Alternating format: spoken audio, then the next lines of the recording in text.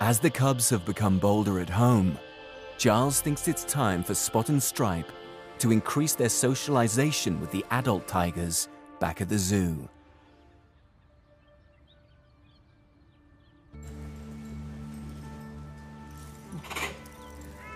At the main tiger compound, Giles and his team are full-time carers for 10 adult tigers, and Spot and Stripe have been gradually exposed to them.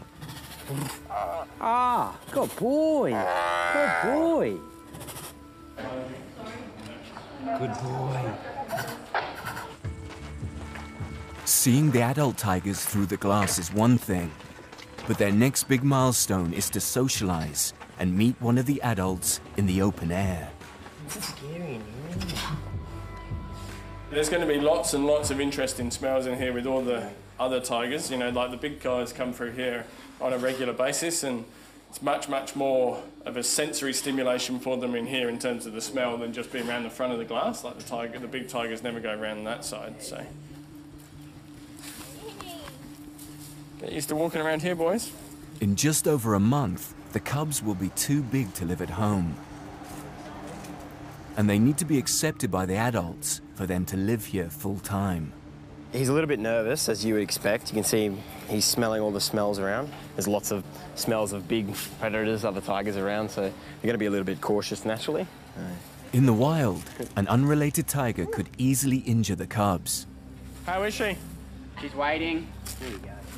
And Giles hopes Maneki won't display any threatening behaviors. Oh, who is it? Oh, darling.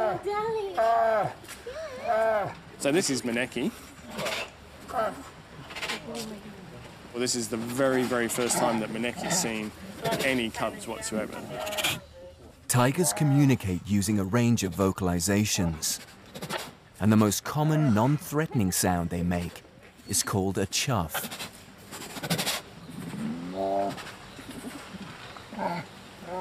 Chuffing is reassuring. So they're chuffing at her, they're chuffing at each other. So it's a reassuring type of noise, but it's also a way of greeting, saying that she speaks your language, not like Ruby. Tigers are one of the few cats in the world to communicate in this way. These guys are very inquisitive, so their facial expression with their ears is exactly that.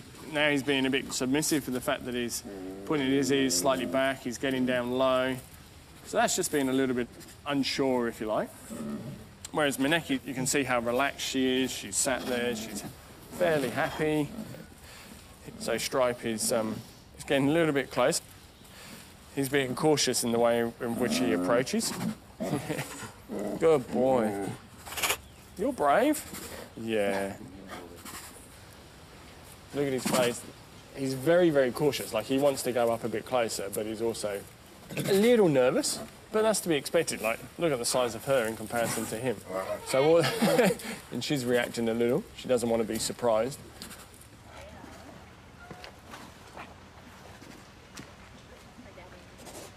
The cubs have won over Maneki, and Giles is relieved.